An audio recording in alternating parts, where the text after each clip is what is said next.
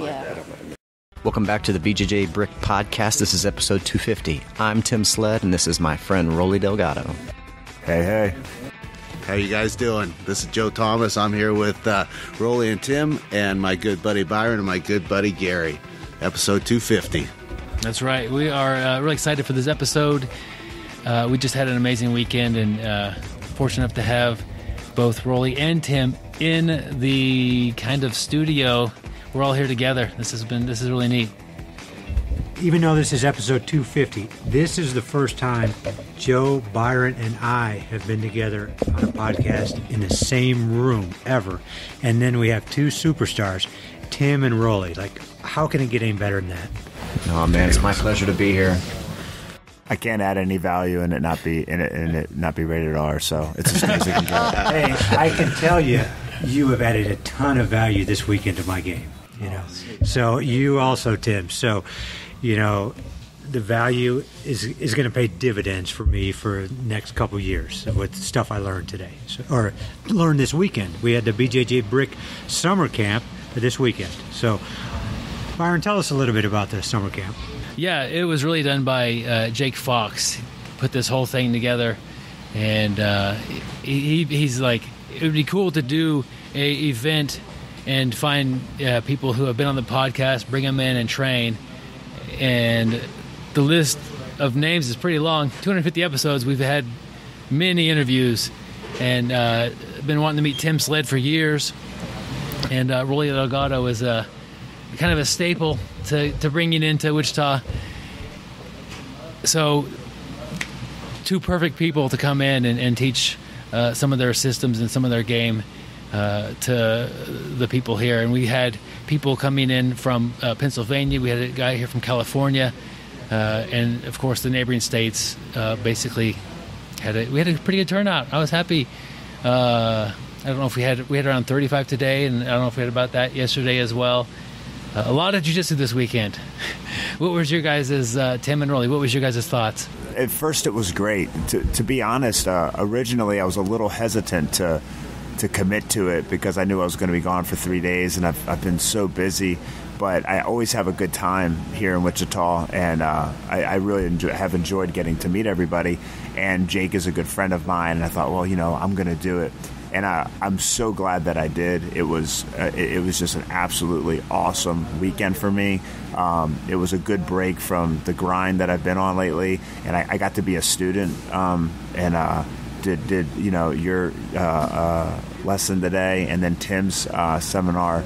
Uh, was was amazing and very difficult to follow. Uh, not follow the seminar, but I had to teach after him. It was it was awesome. So um, that was good. You know, like um, I got some good training in. Um, but my takeaway from the weekend is just, you know, I just continue to meet great people in the sport, and it's just this, and, and I'm, you know, continuing continuing to strengthen um, my relationships with everybody here in Wichita. And that's just what keeps me in jiu-jitsu. I, I really love jiu-jitsu, but um, I have other hobbies outside of it. But the thing about jiu-jitsu that's that is leaps and bounds uh, above all my other interests is the community. Like, it, there's just no comparison of all the things that I do. Jiu Jitsu is what brings me a ton of joy uh, and, brings me around a bunch of great people. And I continue to just meet more and more great people. It's it's hard to keep up with everybody. You know, it's like you're just drowning in awesome folks and. Um, I rarely meet bad apples, man. It's like I'm, I'm meeting people because they're friends of friends, and like you've interviewed Tim a few times, and you were dying to get him out here, and so like. Even though it's the first time you met him, like you guys were still connected, and it's like good people just keep finding good people, and this this weekend just really reaffirmed that for me, um, and and that's why I've I've been able to be in the sport for 20 years because of all the great people in it. That was long winded enough, wasn't it? Perfect. Yeah, so um, this weekend for me has just been, um, I guess, an, uh, an excellent time for me to kind of refocus myself on instruction. Um, I've been fortunate enough to kind of have a break from running a school. I do teach classes multiple times a week, but it's not my like school, so I don't have to. I don't have all of the the, the burden of, of making sure that everybody's coming in paying the bills. I just walk in, teach class, walk out, um, and uh, I think I might have grown a little bit complacent in my teaching, and so I got fired up to come out to see you guys. Um, you know, Byron and I have done several interviews together, and uh, you know, I, I think the world of the BJJ Brick podcast. And then when I heard that. Um, uh, when Jake told me that he was he was trying to get Roli on board, I was like, "This is going to be great." I had very very high expectations, which is usually a dangerous thing, uh, but my expectations were exceeded. Uh, you know, meeting Roli, uh, learning from Roli, the stuff that he showed at this uh, in his workshop, his seminar. Immediately, I was able to put it into practice. I've been I've been using it this weekend when I train gi and no gi, and it's an area where I'm a white belt. You know, um, uh, one of the things that Roli just mentioned was you know sort of the relational aspect of of jujitsu, um, and one of the things I love about it is just like in every relationship sort of paradigm that you have in life, whether it's work or um, school or jujitsu, if you think you know everything, you're going to be sadly disappointed when you find out how much you didn't know and it's too late to fix it. And jujitsu is a daily reminder, if you're doing it right, that you got a lot more to learn. And you know, I've I've done a straight ankle lock since 1998. I just never. I, the only time I started doing it right was today uh, because the details he showed, the methods of entry, uh, it's exactly what I needed. I'm a white belt at foot locks. I'm a white belt at straight ankle locks, and um, um, and so I've got room to grow there. And you know what a better I couldn't find a better environment than this weekend because there were people from all sorts of different flags and geographies that came together. And everybody was just really friendly and welcoming and hard rolls like I had some really fun and challenging rolls, and um, it was it was a blast. You know, one thing that really stood out to me is just watching you two interact. Uh, from an outsider's point of view, I look at you two as role models for me. Somebody who, you know, I think is head and tails above the rest of us, and somebody that I want to get to your level. I want to emulate you guys. But what really surprised me is, first of all, I don't think you guys knew each other before you came in here. But I just loved how you guys were so into each other's seminar. Like you were just talking right now, Tim, about you know how much you learned from Roli, and I know Roli was the same way. And it just makes me realize, and you just mentioned again, Tim, there, but even at your levels, you guys never stop learning. It's you guys are going to pick each other's brains. Like the rest of us all went out to eat these two stayed and just trained with each other. It's they're just picking brains. They're just putting more tools in their tool bags, as Joe likes to say. But that's what really impressed me, and that's something that I think is what's made you guys so high level. You guys are always open to learning from anybody, and, and like Roli says, you you know, people aren't bad apples. You're you're meeting great people and, and just picking their brains and check, you know, learning from them.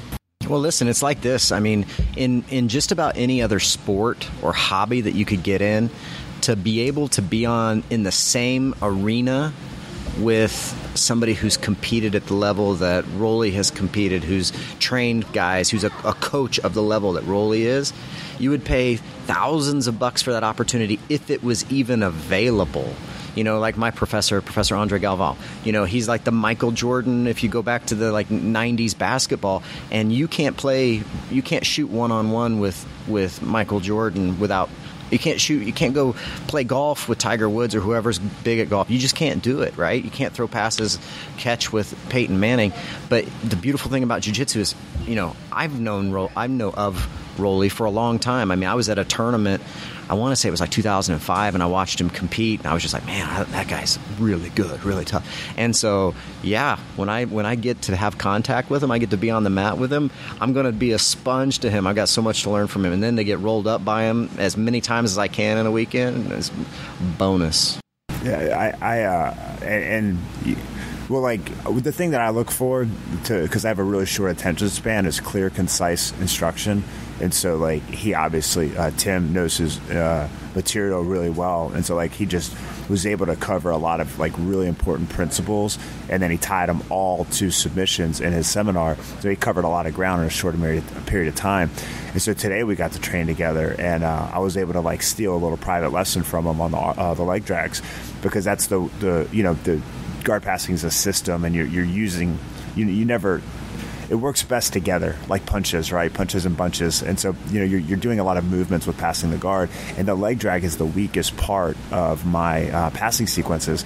And so, like, I just asked him some questions, and it was just like, like just clear, concise. You know, it's like it, there's no debate, there's no like talking your way through it. He just like, yeah, this is it right here. I do it like this, all mechanically, structurally sound. So like in like 20 minutes of just like doing leg drag work. That's with like the average jiu-jitsu coach, it would take me an hour and a half to get there.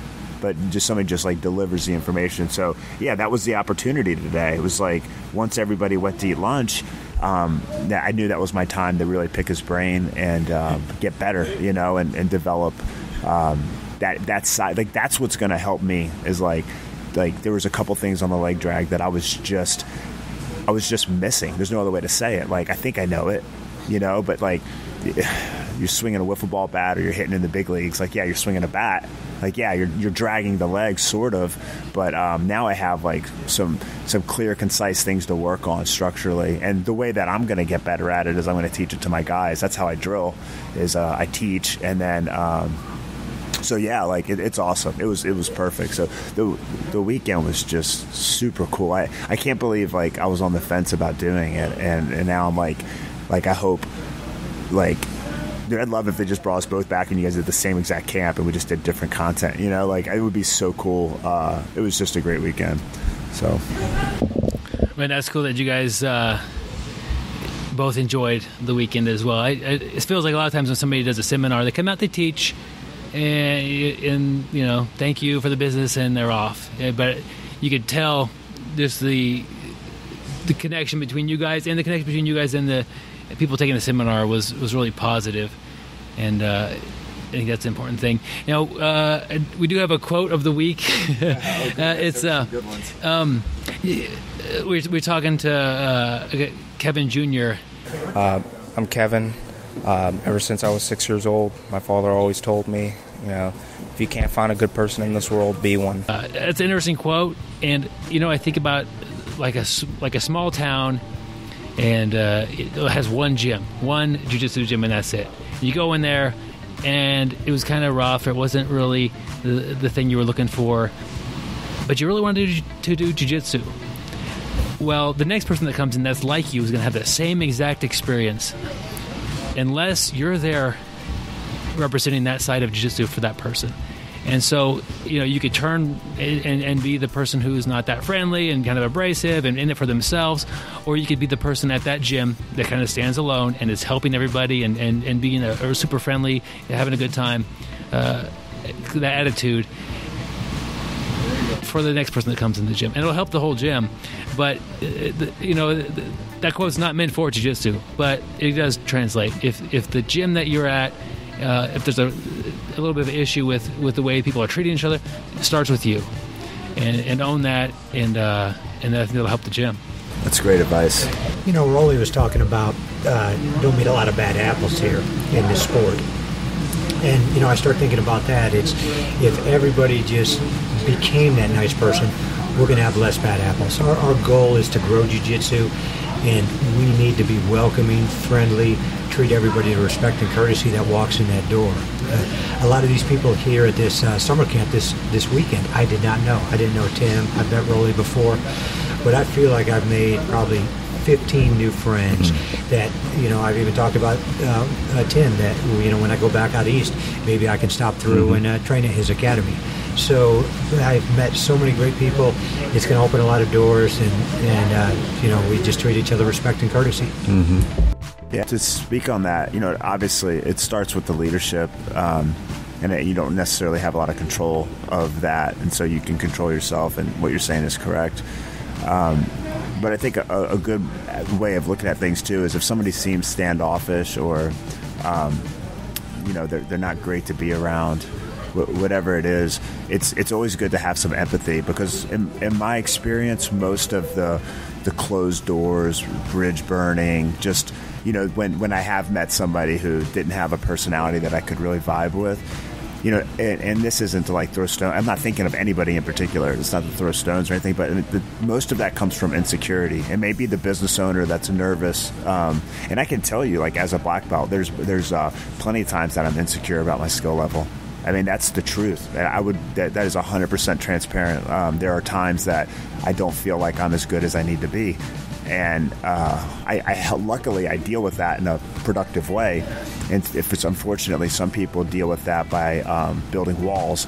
And so if you have somebody that's doing that, and that's not to say, oh, you're only doing that because you're insecure, but it just gives you some empathy to look at that person and go, oh man, um, you know, like the, they don't realize they're being a necessarily like a, a not awesome person. They're just doing what they think is in their best interest, you know, and they may be financially like in a tight spot and, they, and they're just nervous they're going to lose students if everybody cross trains with them or their students go hit this open mat. And so like you can actually have some some sympathy and empathy for those people. And if you if you look at it that way, I think you can find a way in for those people, you know, maybe a personal invite to something like, "Hey man, like we haven't hit it off like uh, and hung out and you're like 30 miles from me. This is weird. Like dude, let's go grab drinks and watch a stupid movie." you know, and if they don't take you up on it, so be it, you know. But that's going to lead to a, a hey, like let's work out, like keep the students out of here. And I just think there's ways to build bridges if you really want to build a community, and you won't be able to bring everybody in. And you won't be able to do it overnight. Something to keep in mind with this is cultures don't change quickly. So if you, like Byron said, you join a gym and it's not the vibe you're looking for, and you want it to improve, it's going to be a long process, and you just got to work at it daily. You know, and and to you know, I feel like, you know, I have the largest gym in Arkansas, and that's like saying you have the tallest building in Topeka, Kansas, right? Like, that four stories? You know, like, um, but I feel like maybe like some people don't hit my open mats and stuff, and maybe it's a little they're not outright told not to, but it's discouraged. I get it, you know, like if you're from a smaller gym, like you wouldn't necessarily want to take your guys and like send them to an open mat to a gym that's in the same neighborhood as you. Like I don't fault anybody for that. That's not that's totally reasonable. When I was getting started, like man, I had such an ego, you know, and there was times like if somebody else said like, "Oh, we're the best at Brazilian Jiu-Jitsu," I took it personally. Now I look at everybody's website and everybody claims to be the best, and I don't take it personally. I'm above that, you know. But like, I, again, I think a lot of times like that perspective really comes with just some honesty about like where you've been because I've been there. You know, I've been like, like not necessarily like being rude to people or anything, but like you're a little closed off. But it's based on some sort of self-preservating need and if we see it for what it really is, I think we can really get through to people. And once people uh, feel comfortable and let their guard down, I think that's when like real relationships can build, and that's what we're looking for in jiu-jitsu is to better ourselves. I talk about this with my students all the time, and I think that's the trick to um, keeping people engaged in jiu-jitsu is is to somehow, you know, I talked a little bit about the mental game um, in my seminar, but somehow use jiu-jitsu as a platform to make your life better. And if that's like, I don't want to compete, well, why don't you want to compete? Well, and then it, it turns out that you're just really nervous, you're going to let all your teammates down. Well, that's not a good reason. Like, if you're not willing to face that here, that's going to manifest itself in other areas. And if you're able to use jujitsu to overcome those things, um, it will pay dividends outside, you know, off the mat. And uh, I think that's the trick for what we're doing. Hey, we're all getting older. I mean, look at this table, right? We're not, nobody's competing at adult worlds. You, you guys know. making fun of my age again? you're a good looking 50 though, man, right? You're, you're rocking it, training hard, in shape. Um, I hope that uh, I'm, you know, uh, at fit, like 50s, what, 14 years from from now, man. I hope that my body's still holding up, you know, and um, starting jiu-jitsu later than me. As I'm walking around with a limp today. Uh, yeah, right. I, have been out all weekend. Yeah, I know. I know. I got 20 year olds that are out with injuries too. I just think that's what it is. That's what living is. Living is suffering. Here's one of the things I think is really important uh, because we're talking about bad apples and or the lack of bad apples in the sport and how to build. Uh, Roy just did a great conversation on how to how to build relationships between gyms and things like that. I, one of the things I think is number one, Brazilian Jiu Jitsu is, according to I think what who was it, Joe Rogan said it's a great douchebag filter. Um, but I think there's another level that leadership uh, within a gym needs to have their eyeballs on that. Uh, for me, it's big.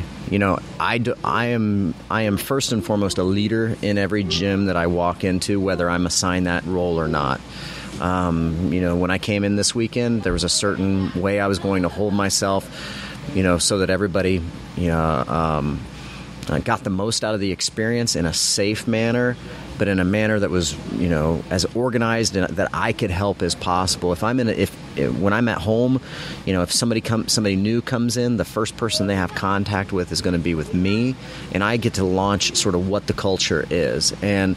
Um, uh, with female students in, in the gym. You know, I'm, I'm maybe this is a little chauvinistic, but I keep my eye out on them, making sure that they're being rolled with well, fairly, with the right guys that have the right motivations. Um, you know, if they're getting treated brutally and it's not deserved and not called for, then I then I get to have the next role. You know, I get to be involved in that, and I, I act as a filtration system. You know, if I have a young guy or an old guy you know either either spectrum. I got a 14 year old that comes in to train, or I've got a 62 year old that comes in to train. I'm going to protect those guys. I'm going to watch out for them because the culture need, uh, in my gyms needs to be one of uh, we're all family. So these are brothers and sisters, or these are elders when we're in front of each other, um, and we're here to improve ourselves in some way, shape, or form. So, instructors, I think, have a have a an obligation to keep an eye on who who's around and what their vibe is. And then I think you get to decide, you get to assign what level of any one of those vibes you want. You know, if you're if you're in a gym where swearing's not allowed, that's your your prerogative. A lot of gyms will allow for that, and that's cool too. But if it's your prerogative that that isn't allowed, then you can't like you can't be willy nilly with it. You got to say that's a rule here. And the guy down the street who I know really well, maybe he's got he allows for that, you know. Or um, you know, if if going knee in the eye socket uh, is is looked down upon in your gym. Um, you know, if, if, you're not allowed to do certain techniques, you need to make those rules known. You need to have a filtration system on the front end, and everybody just needs to have the right expectation. I feel people get most hurt by discipline within a gym because they don't know the rules or they don't see the rules being applied fairly. And so I, I'm just real clear on my communication.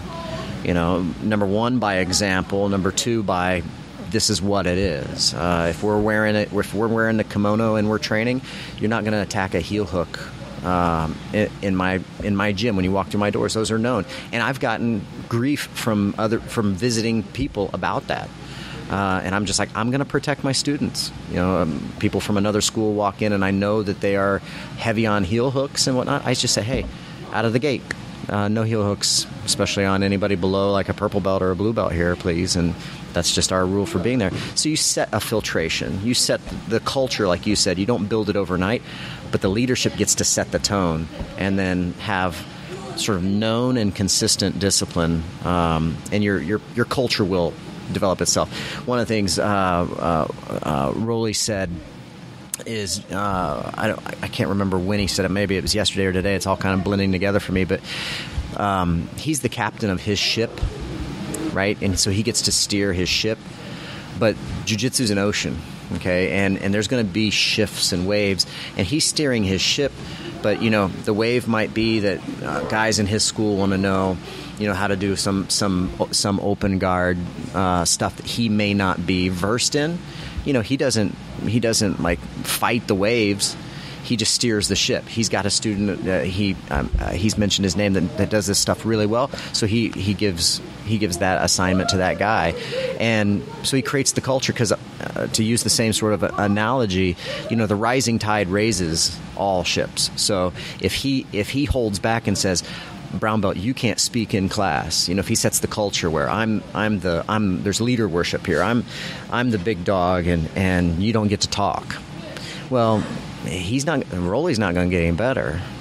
It's going to slow down his progress because he needs his students, and he, I know because of what I've heard him talk about, he loves that he's got students that are always nipping at his heels and catching him regularly because he's training right.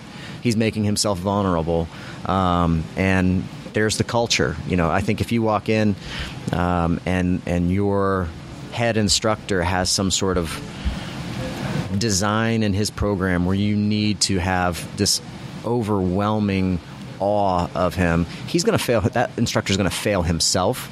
He's going to fail the students, and the program's going to fizzle. I've seen it happen. Uh, real quick, real quick, uh, did you say nipping at his heels because it's Roli? And- yeah, that's a good pun. yeah, I was just No pun he said- intended on He said nipping at my heels. Then he said like catching. I was because I was thinking like no, like you know I have like a, a squad of purple belts right now, and they you know they each have unique uh, and brown belts as well, but like uh, that they each have like a unique thing that they give me fits with, and uh, I get tapped out in my gym. And and I always talk about that with people. Like they always say like, oh well, if your students are beating you, you're a great instructor. And I'm like, yeah, that's that's true. There's there's some pride in that, but there's it also still bothers you as a grappler, you know, because um, the the unfortunate thing about jiu-jitsu is the guy that's training under you is getting better much faster than you got better. So even though you've been doing it 20 years, you've filtered everything for them and you've streamlined it for them, and you've basically taught them your jiu-jitsu. We all teach the things we're good at, and you should. It's the things you know really well. So like I get bested by my guys, and I was I was making a joke with uh, uh, some of you guys the other day, or Tim. I, I can't remember who all was in the conversation, but uh, it's a compliment when my students beat me in a round, and we I say we're going to run it back because it's it's me saying like you got the best of me, and I you know my ego needs another go at you.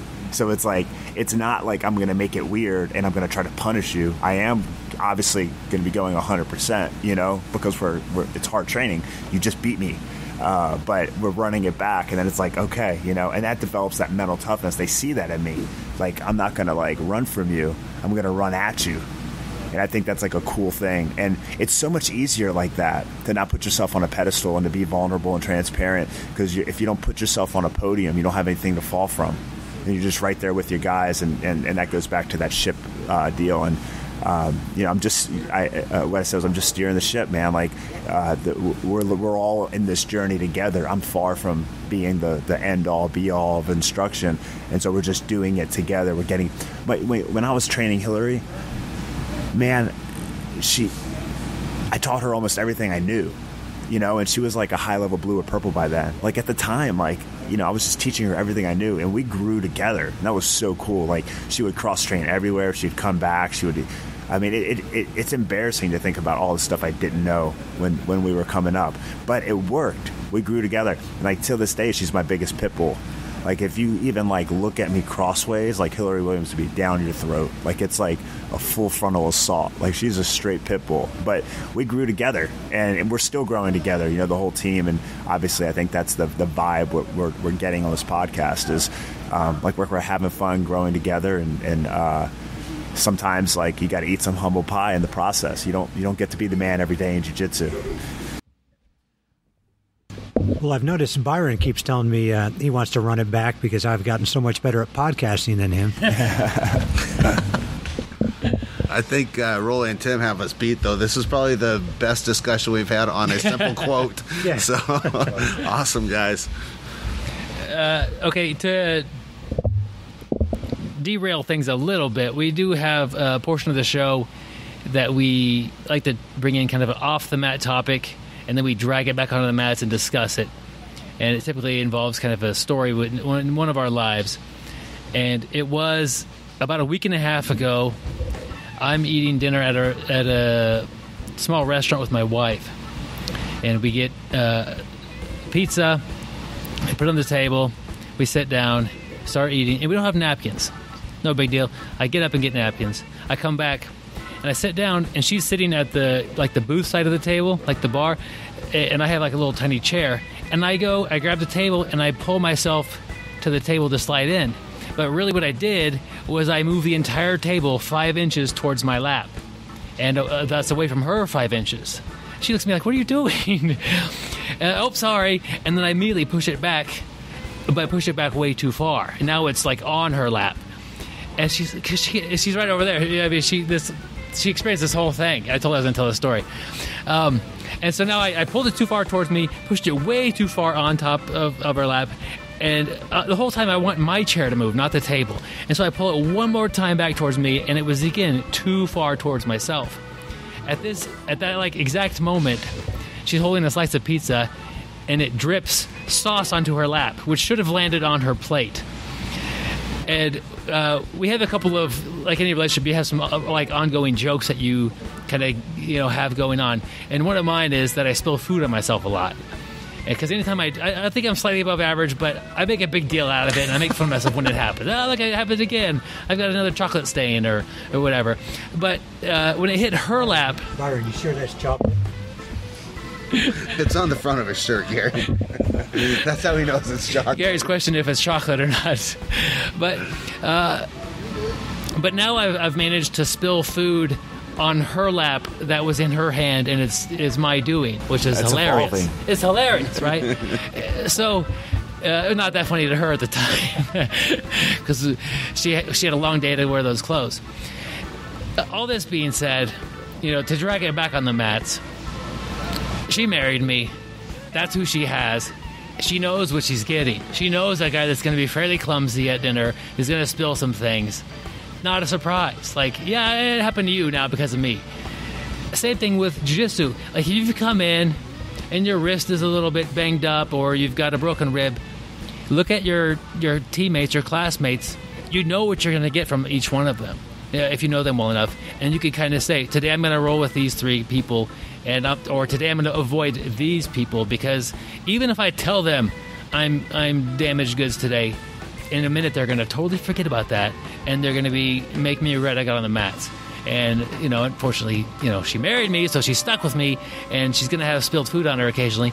But she knows what she's getting when she goes out to dinner with me. she's giving me a look.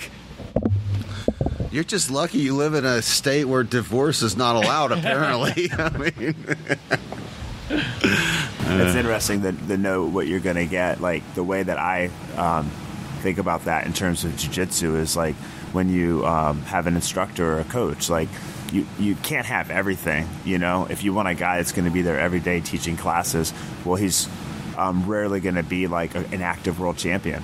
Because if you want to go train with the active world champion, they're doing seminars every weekend, long weekends. They're hitting a ton of tournaments. They're on the road. Everybody's pulling at them. You can't have that guy holding your hand every day. It's you're asking for two things that are very difficult to find. Um, so you find a guy that's in the gym all the time, uh, very good at jiu-jitsu, but you know obviously he's not out every weekend doing every major tournament and all these seminars and stuff. So you you know my students, the, the joke is always. I'm sorry about the tips, guys. Like, um, somebody will go from having one tip to four tips, and two months later being a blue belt. You know, like because I just I'm not very structured and organized with my um, grading. Everything is like when it feels right for me when i feel like that that person um, needs to get the next rank. And so like yeah like there's a lot of benefits to training with me. I care about you. I'm uh, i'm pretty selfish that i want everybody to be good for my own ego. I love being a good coach but that plays real well for my students because i'm vested in making them as good as they can possibly be. On the flip side if like you need a stripe every four months because you've been killing it and that's what that's what drives you like you know what you're getting with me. I'm not going to be on the ball. I'm not going to be there on the eighth month with the second stripe you know? It's just you know that's just one of the areas um, and we're you know that that i'm not good at. So you know what you're going to get. That's kind of what i was thinking um, with my uh, my analogy to jiu-jitsu. What, what, what's yours tim Well, so like picking training partners is is um, really tough in the white and blue belt phase, I think, because you don't know really what to expect and you don't know what's the right feel and the wrong feel. I know as a as a black belt now, I know how to pick my training partners. Um, you know, there, there's days where I want I want to pick the the lions in the room. You know, um, because I want a hard rule. Uh, there's days when I I want to I want to go with somebody who's flexible and there's going to be a lot of playing going on. Um, but at the same time, you know, I think I think it's really important that the there be the freedom that what like Byron said. Uh, if you if you don't want to if you want to pick three people to roll, you should be allowed to roll with those three people. And I think coaches uh, need to be need to be able to push people in out of their comfort zone because uh, we all have our comfort zone. One of the things I say is that the Brazilian Jiu-Jitsu mats they're they're sort of sacred because before you step on the Brazilian Jiu-Jitsu mat out in the parking lot or in the changing room, you can claim to be whatever you want to claim to be. You can claim your belt is is super legit. You can do anything you want. You can claim you're a, a, fighter or a tournament champion or anything like that. But when you step on the mats, you slap hands, bump fists, the truth comes out. Right? You are what you really are. Another place that that tr- works the exact same way on the mats that I think makes them a sacred zone is that um, just about everybody who's training finds that they have something they're good at, and then they have areas that they're not so good at. I call those the shadows.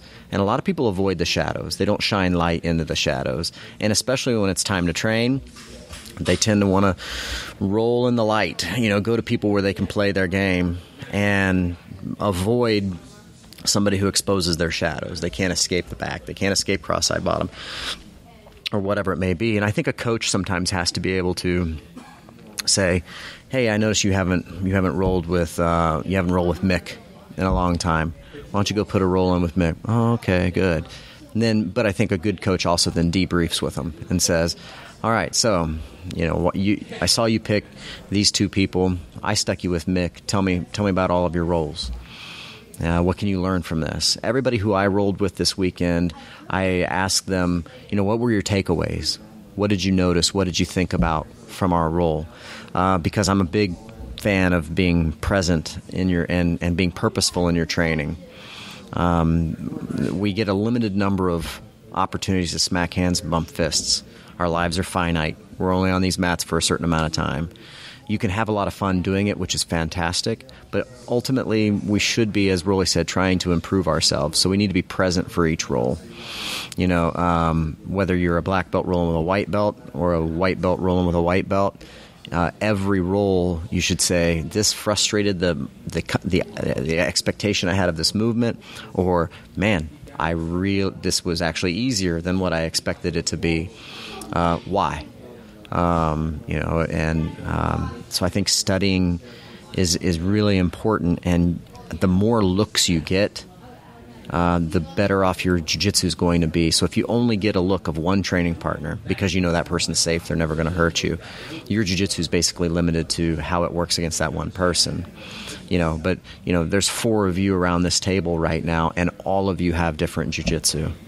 All of you have a different game. All of you have a different skill set and why would I want to deprive myself of, of experiencing any one of those? Even if maybe one day it's me testing my jiu-jitsu against you, and maybe the, another day it's me letting you test your jiu-jitsu against my defenses.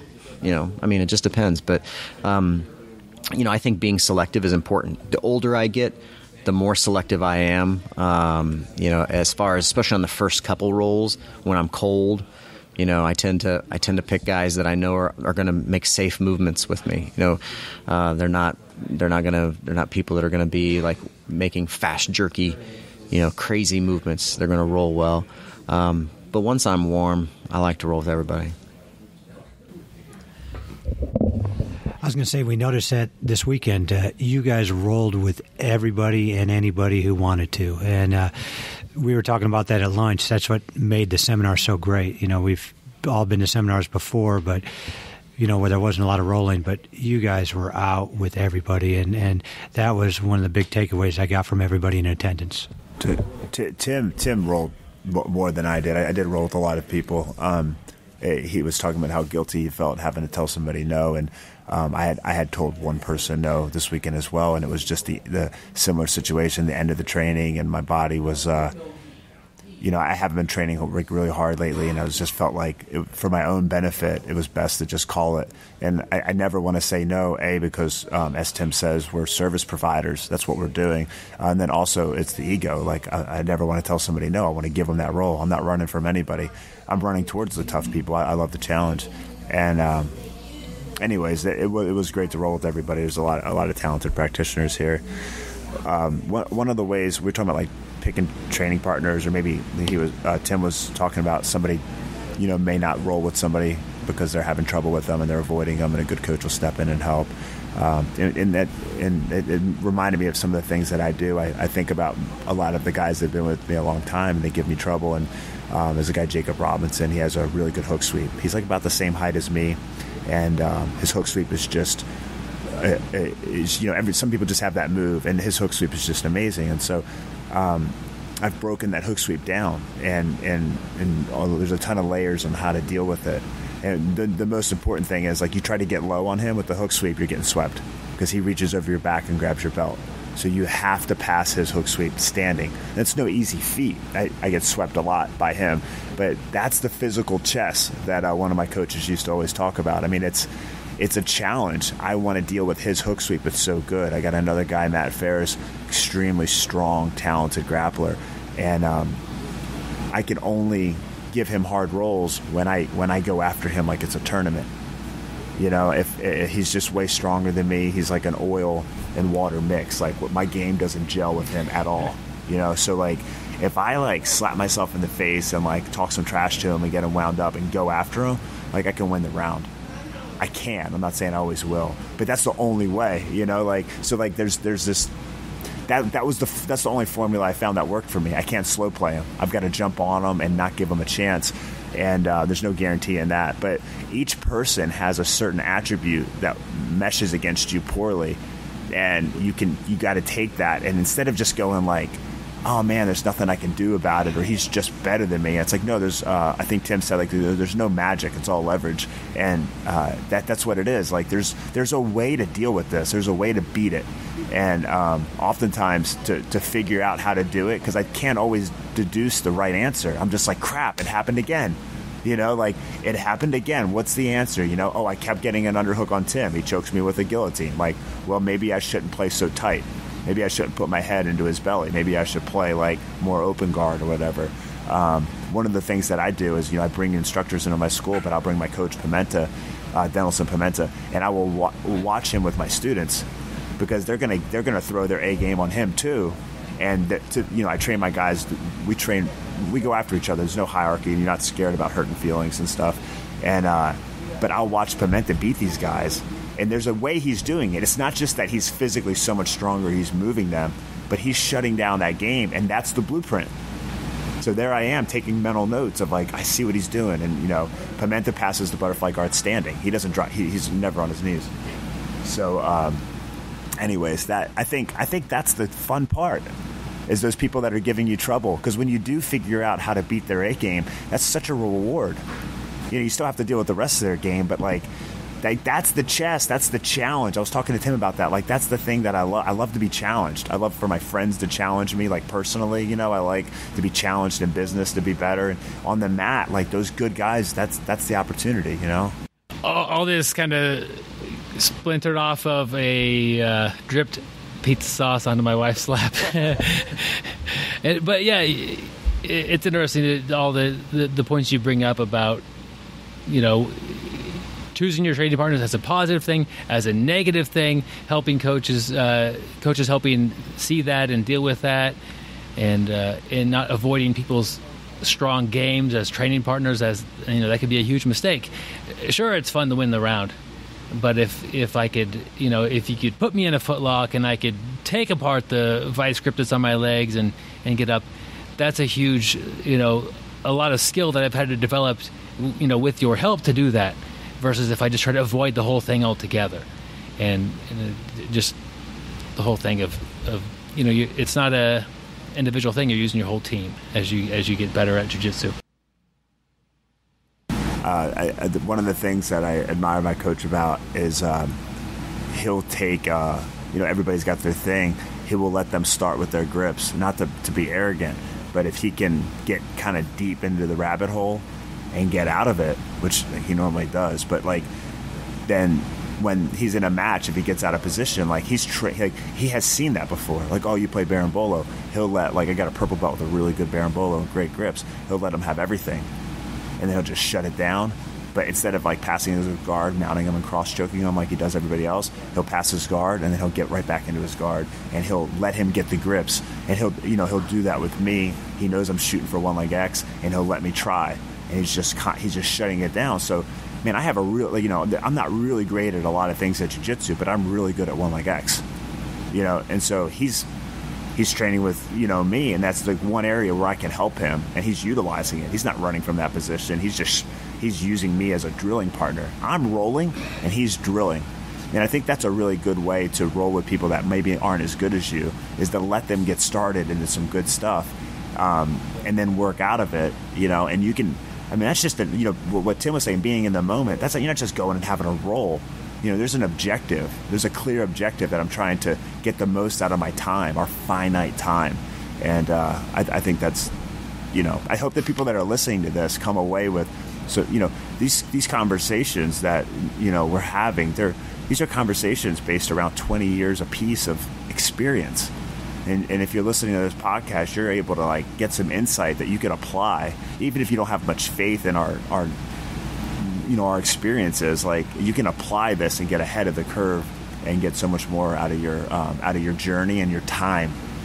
You can get so much more out of your time. Yeah that training methodology is brilliant really there's not very many other sports where i mean i couldn't go up to an nba player and we couldn't play one-on-one and he would get nothing out of it but we're sitting here at a table with three black belts and y'all could roll with blue belts and you can get something out of it they gain from the roll you gain from the roll everybody's better because of it and i think that's unique to jiu-jitsu and i love it you know uh, full disclosure I, I keep looking back because at some point i'm leaving for the airport and i just you know i I don't want to be the guy holding everybody up. So if, if, if I just disappear off the podcast, you know, I've got to catch my flight back to Little Rock, and um, the honeymoon's going to be over soon for me.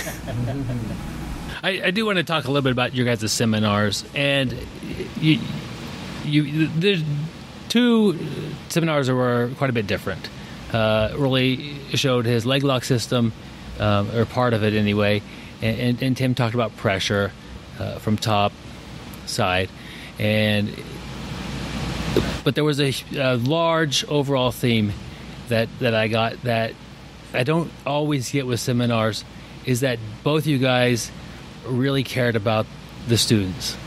That and it, I hate to say it, not all seminars are that way. Sometimes you, the, the, guy shows up, collects a check, and, and signs, takes some pictures, and gets out of there. Doesn't even take pictures. Like you guys wanted us to get the stuff right. You you guys you know wanted to take the time and work with us individually uh, as you went around, and, and it really just that the feeling that you guys are here for the students and that's what. And so uh, they they went on Saturday. Sunday was uh, I taught some stuff. Hard acts to follow, but I kept telling myself I just want the students to get the best that I could give them, whatever that is today with what I have in my ability. I, I want to be here and I want to give them give them my best, and I didn't. Nobody complained, so. but um, that that was a common theme, which I would be having such a big name list of names to choose from to, to, to think about bringing in for the for this like we hit the two we found the two right guys like guys you. that care about the students and have the knowledge to, to share. Yeah i think i mean um, maybe it's I, like I, I think i told the students yesterday that i've stood in front of um, rooms where i've taught the exact same workshop and i've wanted praise from it you know, the reason that I wanted to do the best I could do is because I wanted people to think uh, highly of my jiu-jitsu or my instructing ability, and I wanted to pad my ego and pad my uh, self-worth with what people's opinions were of me. And I've had a big life transition, you know, um, and I've got a new perspective. And uh, yesterday, it wasn't about me. Um, you know, I'm going to give my best all the time. It's what are the motivations behind me giving my best, and um, to be the best instructor I can be, I needed to make sure that I uh, organized that material, disseminated that material, and then checked and evaluated how everybody was absorbing the material, so that everybody who came, who paid hard-earned money to be with me on the mats um, got the most value out of it that can possibly get, and value that continues to just in, uh, to keep moving forward. And it, and so I was, uh, you know, um, Roli and I've been having a lot of talk, com- great conversations this weekend. One of them is on that we are service providers, and I really, I really viewed that. My my job this weekend wasn't, you know, to come in and uh, have anybody pat me on the back for how well I did or you know how tough I may be or you know I, of course I love to hear people say oh that was some great pressure right? Especially when that's what I'm teaching. I, I wanted it I wanted it to, to to sell. But I wanted it to sell because I wanted people to say yeah the money that I spent on this camp was well worth it because I got to feel it I got to see it I got to learn it the guy that was teaching it to me cared about me knowing it and that way they benef- they maximize the benefit from it.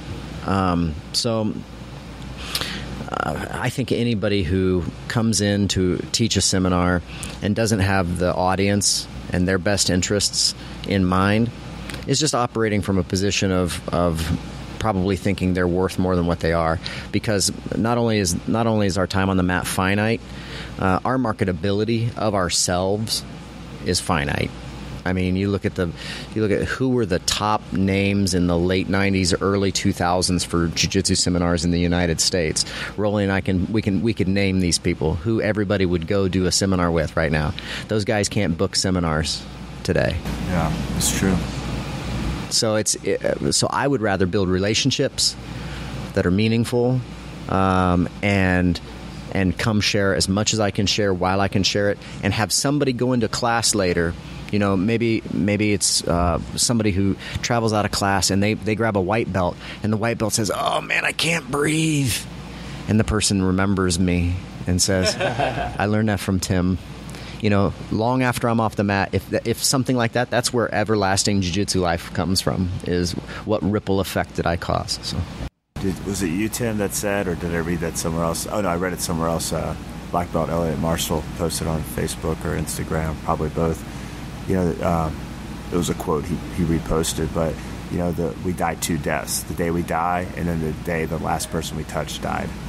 You know, and I was like, that's it's just say, you know, the more you learn about life, the simpler it gets. Like the, the everything echoes from something else, and the things that I do in business. Um, I'm reading a real estate book right now, and it's like the whole first like part of it. I'm like, geez, like I, th- I think it's talking about jujitsu. You know, I think it's talking about that. You know, and but truth is truth. Human nature is human nature, and um, you know our our value systems are our value systems. And, and Tim nailed it. Like we're just trying to create meaningful relationships. That's what I, I, you know, some people think I've had some success in, um, you know, martial arts, and I, I don't see it the same way. You know, like I, I always look at what I didn't do, not um, some of the things that I did have an opportunity to do.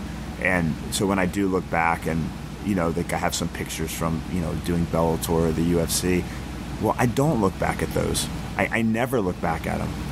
What I think about is, oh, I met Nathan Leverton, the coach of the guy who knocked me out in England, and became really good friends with him and learned some great things from him, you know. And and and uh, I think about, oh, I ended up doing a seminar because I fought in the UFC in Connecticut, and I met some really great people up there that I'm still close to that's what I remember. And that's not like just some feel good crap for the podcast. That's legit. Like, that's what I value. There's people that I can, you know, um, Tim was saying, we can go anywhere in the country, Tim and I. And we're going to have a couch to, to, surf on and a mat to, you know, if we need to make some money, we can go make some money. If we want to just teach a class, we can go teach a class. Like, if we need someone to show us where all the high happening spots of that city are, someone will be happy to do so. And I've had those experiences all over the world. And that's the value that's the game right there. I'm not back here for leg locks. You guys have dozens of people that you could bring in for leg locks. I'm back here because we've created relationships. That's you know, so like it, it's almost self-serving. Like, be a good person, build good relationships, and the rest will take care of itself. Uh, you know, I guess that's all I need to say about it. But that that for me, I can tell you, I don't look back and look at old medals, and I don't have a lot of old medals. Um, or go back and look at like any of these milestones. People think, oh, it's so cool you fought in the UFC. Like for me, it was like, yeah, I, I was fortunate. I was lucky. I was in the right place at the right time. There were plenty of people out there more deserving than me. You know, and, and the win I get in the UFC, well, a lot of that has to do with the matchup. It's luck, man. Like so much of it's out of our control. So I don't hold on to that stuff, but I think about all the people I met, and then there's no, I can't talk my way out of that. No, I met that person. I really like them. They seem to really like me. We enjoy each other's company that's the true value system, you know. So uh, Byron gave us some show notes here, and uh, typically in the podcast, he emails them to us, and uh, we've got some topics to discuss and on the show notes, it's uh, stuff from Tim and stuff from Roli, who just fell off his chair. we have. It's not a chair, really. Wait, no, that was a guard pull, Joe. Okay, well, well, we have we haven't provided very good seating for our guests, and they're doing the best with it. so I'll, I'll, go first, and I'll just I'll just give a, a couple of thoughts on on both guys. Um, first off, Tim, I want to say that I thought the first 10 or 15 minutes that you brought were worth the seminar. Uh, Tim came and he talked about how to get the most out of seminars, the value of taking notes, the value of coming prepared, and uh, he's talked on this podcast about being a service provider. And you got that feeling right away that he was there to make sure we got the most out of it. And I really appreciate that. As far as the techniques go, I really like that you had uh, uh, pressure and then a submission that resulted from their reaction. And that's just really good jujitsu, and I really appreciate that. Uh, Roli, uh, one of the things I really appreciated about what he brought was, and you can correct me if I'm wrong, because this is more of an impression I got than things that you actually said. But there's a lot of fine details to finishing a footlock, and you need to learn those and perfect them but you need to first learn how to isolate the leg, how to put the leg in a compromising position, and and so the learning process really should be started from that end and moving towards the finish. And I really appreciated that, and. Uh, and I appreciate it. I'll just go back to what we talked about at the beginning of watching you guys interact. Byron, Jake Fox, we had black belts on the mats during this, and egos don't always just automatically go away when you hit brown or black belt. But in this case, there were no egos on the mat. Uh, there were insightful questions that you guys asked each other, comments during the seminars, and I appreciated that more than you guys can ever know. Man, you appreciate it. We appreciated it. You know, it was. It's just. Um, it's just what it is, man. It's why that's not everybody stays in the sport for a long time, but that's that's what it is. I think we're. Um, I mean, Tim, Tim's uh, uh, an attorney by trade, and um, you know we, and, and, and, I myself, you know, I have a lot of other opportunities. Like, it's a choice to do jujitsu. It's not, we're not stuck in like, oh, well, this is just what we do. This is the only way that I can make a living. Well, you know, I, I can make a living a hundred different ways, um, but I choose to do this because I love jujitsu, and I, and again, I love the community that I get from it. I love being around my students, and I love doing things like this and meeting great people. Um, so I, man, I know I, I, can speak for Tim as well. We appreciate you um, complimenting us on that, but that's um, you know, he's asking, you know, we're asking each other insightful questions because we want to know, we want to understand, you know. Yeah, it was very obvious you guys were as eager to learn as you guys were to bring information to us. It was a beautiful thing to watch. Gary, what'd you think? Well, you know, first of all, it was incredible. Um, but I'll, I'll, start with Tim. Um, I'm kind of with Joe there. What I really liked is your your talk right off the bat. You know, really just got us motivated. But I love, you can see that you really did care. You know, he actually put together uh, a bullet points uh, uh, timeline of what we were going to go through, and I after it was done, I've I've wrote that you know the whole thing's just filled with my notes. I'm not going to forget it because he provided a piece of paper with a timeline. That just shows how much you really cared. Uh, the other thing you did, Tim, I've never had this done before, is after we were done and we were eating dinner right over here, you actually asked me what I got out of it. Um, what maybe could have you done better? I've never had that done before to me. You know, that really impressed me. And like I told you, it's a lot of little things that I'm not a big pressure guy. I play loose. I'm, uh, but that is the weakness of my game and you know little things like you know active toes is something I'm going to have to look work on, and just your four bullet points of creating pressure. You know, flaring the elbows and and uh, flat back. Those are things that I'm going to use. It's going to go through my head. It's going to turn my game around. So I really appreciate all that. Roli, my third seminar with you. Uh, the one thing it makes me feel special the minute I walk in, Roli comes over and says hi to me. Like I said, you guys are superstars to me, uh, guys I look up to. Um, you know, who am I that you're going to remember me? But you just talked all about that. You know, you you care about, more about relationships, and it, but this is my third leg lock seminar I've been with Roli, and somebody could say to me, "Hey, why are you doing this leg lock seminar?" Not only have I done three leg lock seminars, I have his app. Why are you? You know, what else can you learn? Like you said right off the bat, Roli, I, I've you're always your game's always evolving. You're always getting better.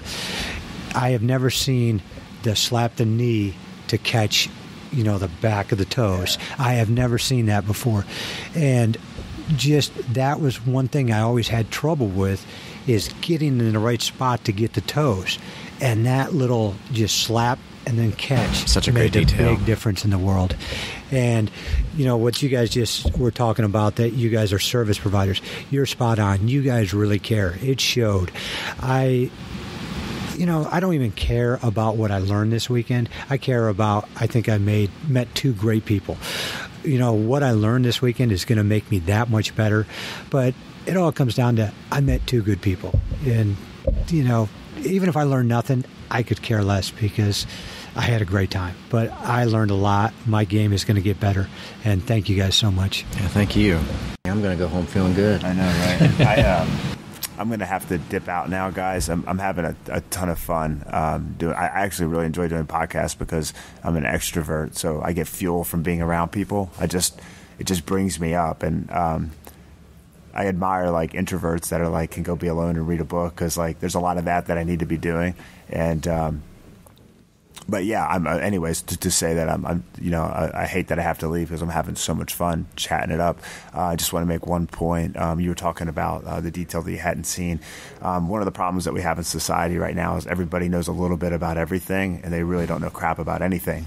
You know, there's no depth, and so uh, in jujitsu, it's. Um, I don't like the collegial approach of just knowing a little bit about everything. I think you should find an area of the game that comes natural to you, and then find the resources to support that, and then grow from there um, that that's my opinion on, on how to learn jujitsu.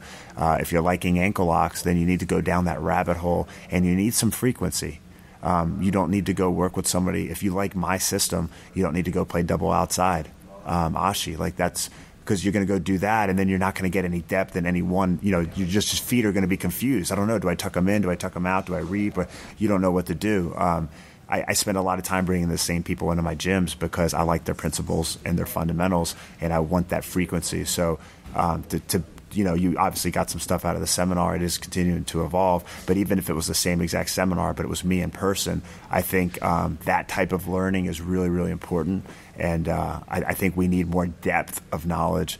And uh, that's why, like, I know how to do a leg drag, like more or less but I ask specific questions about the leg drag because I need I need a deeper knowledge of the leg drag. I'm not very comfortable teaching the leg drag because I only so what happens is you teach the move, yeah, I know the move, and then there's a follow up question, and I like to know the answer to what I teach, you know, but you you need to know.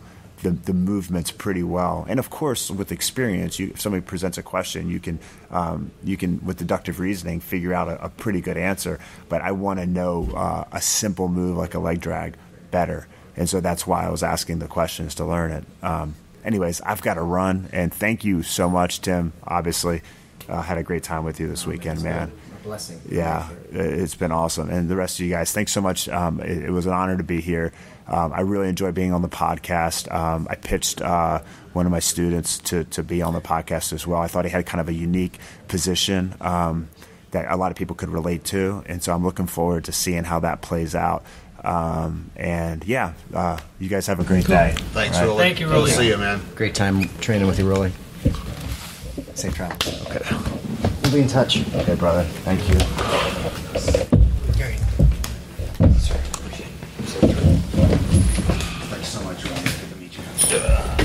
Great seeing. Thanks for the roll.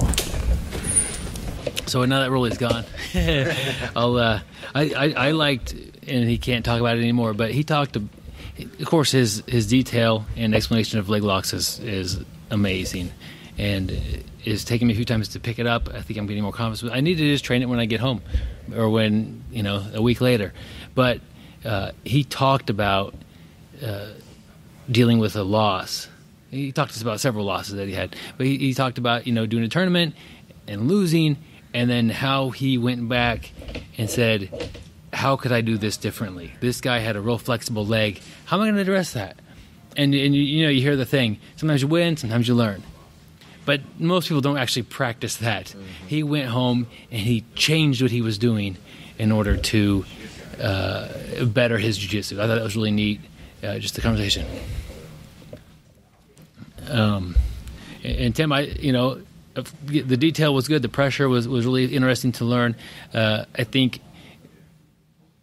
the pressure was different than than most of the pressure I had thought or I had experienced before. The the the lock and key, I thought I found that particularly interesting. Having felt it from you as uh, you demoed it, it's like, well, that's different. because I'm used to the uh, squeeze the ribs and push down on the ribs, and and really you're getting underneath the ribs at that point. And uh, I thought that was uh, probably the most like making me think about pressure differently uh, portion of, of what you taught. And then like I think Gary mentioned it a few minutes ago. You you ask a lot of people, hey, let me know what you thought. I'd like to hear if you have anything that I could improve upon. And that's what we do in jiu-jitsu, except for you get tapped. that you can improve upon that because you got tapped by that. And uh, I was like, I don't, I can't think of anything, but that's a, that's like a generic response that people give. Uh, not to give you uh, that feedback on the podcast now, but I was thinking, well, what could he have done differently? Like, what really? And, and Yeah, I welcome it. And you Bring it. and you did. Uh, you, you you walked around the room. You talked to a lot of people. You helped everybody. But uh, being the uh, the the person who was getting the technique demonstrated on them, I got a different experience than other uh, people. Other people. And with the lock and key example uh, of of really, uh, his ribs are going underneath my ribs and pushing on my lungs is what it feels like. And I don't know how many of the people who partner off get that experience because they're just they're just kind of working on it. But when but when you did that, it was almost like you just you took your the blade of your hand and you just stuck it underneath my ribs. Like whoa, that's different. And I, and I think the more students that you get to feel that, and it's not scary. It's not a it's not like he's going to break my ribs pressure. It's like well that's different. And I think the more people that you get to actually feel that from you, I think that that would would make them say. Oh, I don't quite have the pressure right. Right. Because it is different. Right. and it's hard to do. It's it's not a thing that just it, you slide it. You know, you get that pressure pretty much like like it's been doing it for years because Right, you right. have. But for two people to pair off and to figure out how to do that, that's kind of tricky. Sure. And I and it was you know as long as I've been doing jujitsu, I've never experienced that that not necessarily degree of pressure, but that angle or, or that type of pressure was different than what I've experienced. Mm-hmm. Great which was feedback. Cool. Yeah, I'll, I'll note that. Make Smash sure more students, yeah, basically. yeah. No, and I think and I think there's a there's a huge value to that, you know, and um, uh, it's it's very it's duly noted because that is something where you can put a lot of pressure on somebody and not have the exact pressure that I'm trying to to sell. And so you need to feel what I'm trying to sell, and I think that that's a that's a great that's great feedback because I do try to circle around. I do try to go around, and make sure people are doing it well, and I'm asking them a lot of questions. But you, that's um, uh, great feedback. I welcome it. Uh, but yeah, uh, great instruction, and uh, I look forward to to adding pressure to my game, even more so. I, I do like Gary does play a, a game where he he'll pass and he's trying to catch the arm. He's trying to, and he, he does a very good job of that. But I pass and I want to stay there for a little while and, and deprive them of some oxygen, as you say, and uh, and work on that a bit. And Well, actually, you know, I, I play a different game, but one thing you were talking about is you you deprive people oxygen, they're going to make mistakes. You talked about how we keep people from breathing, and uh, you went over that, and that was one thing that was making me think I really have to work on this. It'll make me that much better. Just your explanation of breathing and how you're going to constrict my breathing. I've never really had anybody really go into that. I always would say, "Hey, he's constricting my breathing because he's smashing me." But you made some good points when I'm on the side. Even if I'm smashing the front, I can breathe out the back. You know, so I need to flatten you out. I'm, const- you know, you can't expand your lungs, and uh, you know, I just never really heard it explained like that, and it made made great sense to me.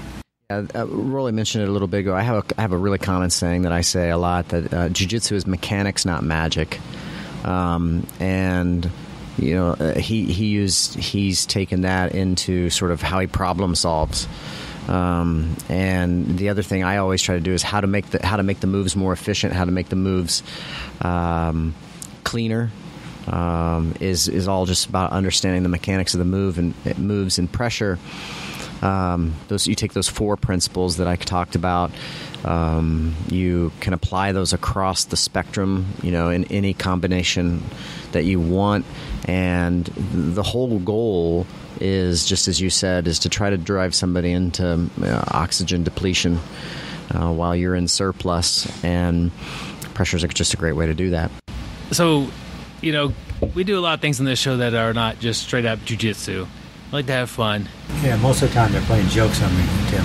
that being said, It happens every time. You probably already planned one. have you It- enjoyed the weekend free of getting uh, jokes played on you?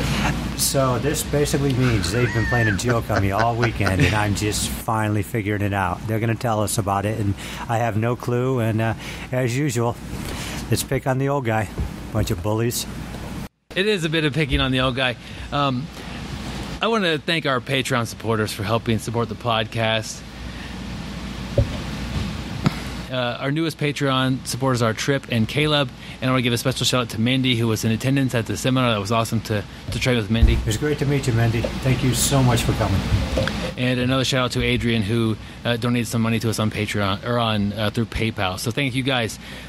Uh, now, if you're thinking about helping us out on Patreon, we'll send you out a five-inch BJJ Brick Geek patch. We'll send you out a sticker.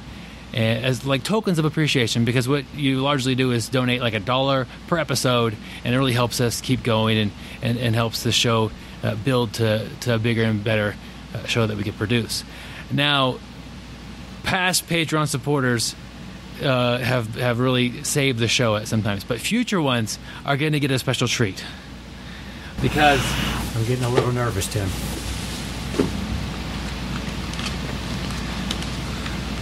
Gary was nice enough to do a little modeling for us, and we've got these beautiful pictures. Oh man, that's nice. they're going to be getting an autograph picture. What of, do you think, of Gary? Uh, Gary. Glamour shots, baby. Boy, that's a good looking 51 year old there. and even one of them has him in a gi. So what Gary's going to do? Whoa! Oh, you even got me in a gi. Dang! Uh, start signing brother. So we're going to have Gary sign these pictures, and he's a good sport, so he'll do it. So the next uh, several Patreon supporters will, uh, it- you know, it's super cheap to mail things. That's the thing. As long as it fits in an envelope, like a like a gi patch or like a sticker, it's good to go. If we gave away T-shirts, it would be a lot bigger deal. I have to go to the post office and figure out postage and all that sort of thing. And but uh, I can slip a picture that Gary has autographed into any envelope and send it anywhere around the world. It's going to go to our Patreon supporters.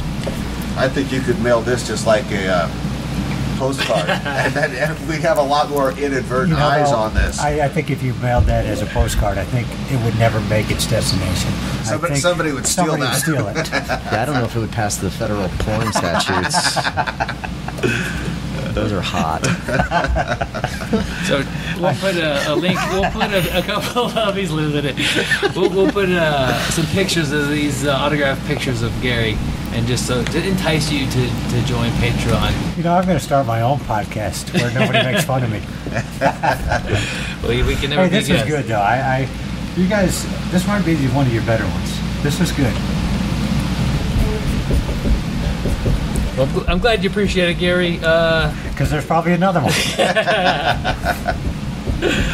uh, we gotta get you signing some, some stuff, so that's that's good. Uh, he's really he's putting more than just his name on there, so you guys could enjoy the whole. Person, we're I don't know what he, he Well, wrote a lot of stuff. You know, talking with Tim, I take this. Uh, you know, I'm a service provider. There you Taking go. this serious, not like you guys. That's true. I, I'm not Yeah, autographing I'm, anything. I'm wearing a tie right now. Where? Man. now you guys got Tim in on this. yeah. He's an assassin. Uh, want to let you guys know about next week and a couple weeks in advance. Uh, next uh, week we'll have. Uh, I think those switched. No, next week we'll have Brian Freeman.